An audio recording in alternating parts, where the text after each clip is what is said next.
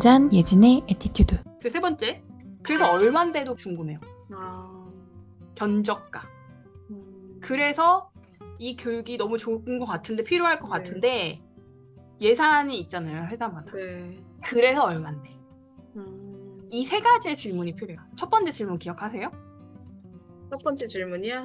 음.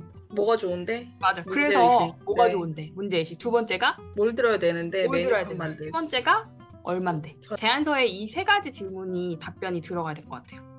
근데 대표님 음, 음. 뭐 가격 같은 게 되게 어렵잖아요. 근데 기업에서는 하긴 뭐 돈이 비싸다고 안 듣진 않으니까. 어 비싸다고 안 들을 수도 있죠. 근데 제 입장에서는 그냥 저는 돈 생각 다 하고 싶거든요, 지금은. 맞아요. 어떤 마음인지 알아요. 그런 마음이면 견적서를 넣되 협의 후 결정한다는 내용으로 음. 넣어주셔서 괜찮을 것 같아요. 협의 후 조정 가능 뭐. 빠져 있는. 네. 시간당 뭐 금액은 협의 후 결정합니다. 또 음. 내용이나 커리큘럼도 협의 후 변동될 수 네. 있다. 이런 내용으로 한 페이지를 좀 넣어주셔도 좋을 것 같아요. 안 그러면 한 번에 일이 또 생기는 거예요. 어, 음. 그러면 강사님 견적서 한 번 더 보내주시겠어요? 이렇게 되기 때문에 어차피 해야 되는 일. 아니면 그냥 대표님 제가 뭐 예를 들어 시간당 뭐 30만 원 뭐 이렇게 그냥 해서 그냥 하는 것도 괜찮죠. 어, 강사님이 강의료를 시간당 책정을 하신 금액이다. 그럼 그렇게 만드셔도 되고 음. 대신에 30만 원 쓰고 그걸 쓴 금액이라는 거는 강사님이 네. 받을 수 있는 최대 금액일 거고 음. 거기서 협의가 되면 또 낮아질 수 있, 아. 높아지진 않을 거예요. 네. 그래서 그걸 감안하시고 작성을 하시는 게 좋아요.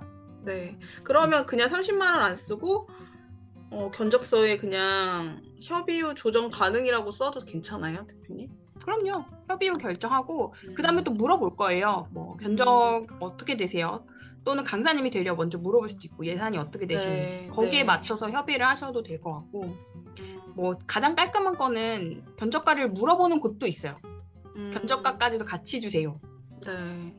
그러면은 사실 보내야죠. 강사님이 좀 먼저 보내야죠. 음. 왜냐면 견적을 안 한, 공개를 안 한다는 것 자체가 자신감이 없어 보여요. 그냥 강사님이 방금 말한 대로 저는 네. 그냥 돈 뭐 얼마든지 그런데 간다는 마음 있잖아요. 네. 그, 그 마음이 저는 뭔지는 알지만 교육 담당자 입장에서 봤을 때 강사를 섭외하는데 강사가 얼마든지 얼마든 온다고 하면 전문성이 그렇게 높아 보이진 않을 것 같아요. 저분은 그냥 10만 원을 줘도 오고 어? 3만, 30만 원을 줘도 오는 사람 이렇게 생각하면 안 되잖아요. 맞아요. 그러니까 저는 사실 강의료를 강사님이 정하시고 그때도 말씀드렸지만 최소로 내가 떨어지면 안 되는 금액도 분명히 있어야 되고 음. 내가 왔다 갔다 교통비며 내가 이 컨텐츠를 만들며 제작하고 들어가는 재료 비용 그쵸. 이런 것들 당연히 생각해야 되고 그거에서 마이너스가 되면 사실 안 돼요. 어, 그거는 처음에는 뭐 어, 뭐 할 수 있겠지만 이게 계속 반복되면요. 내가 가격을 결정하기 때문에 그 가격부터 시작하거든요.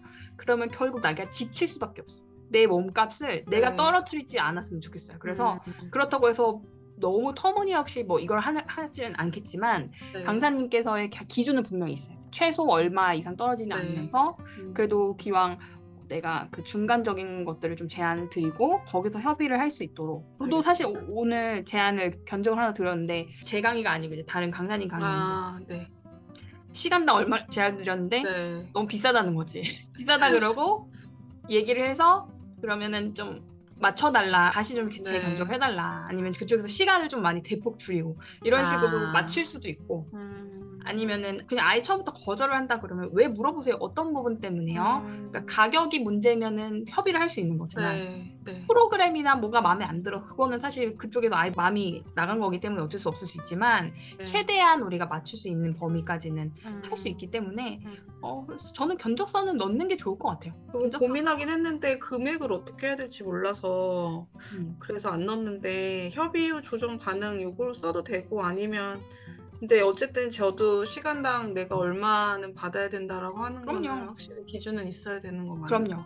그리고 제일 궁금해하는 부분일 수 있어요 담당자 입장에서는 맞아요. 제일 궁금해하는 부분인데 제일 중요한 게 빠진 느낌이잖아요. 그러면 귀찮아서 연락 안 할 수도 있고 이걸 받았는데 음, 아또 돈 물어봐야 되니까 그것도 싫을 수 있고 음, 왜냐면 담당자 입장에서도 아 강사님 근데 강의료 얼마세요? 또는 저희 강의료가 이 정도인데 이렇게 맞춰주실 수 있어요? 이 말 자체가 네. 담당자 입장에서는 귀찮을 수 있고 음, 또는 좀 부끄러울 수도 있고 네. 되게 미안해할 수도 있는 거 돈이 작다면 되게 미안해할 수 있는 부분이라서 꺼려할 수 있는 포인트거든요. 음, 근데 속 시원하게 저는 강사님이 내 강의료는 이겁니다. 대신에 음. 협의 후 결정 가능합니다.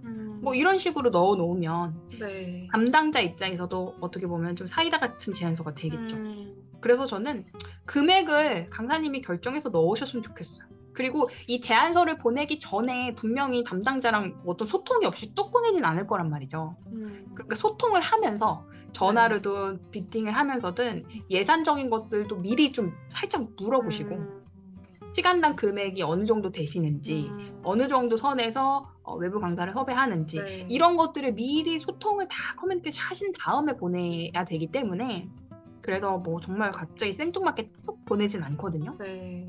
그런 것들은 미리 소통을 좀 하셔야 돼요. 그래서 첫 번째 그래서 뭐가 좋은데 이게 첫 번째로 들어가야 돼요. 네. 두 번째는 그래서 뭘 들어야 돼 우리가 음. 우리 회사가 뭘 들으면 좋아 음, 이거고요.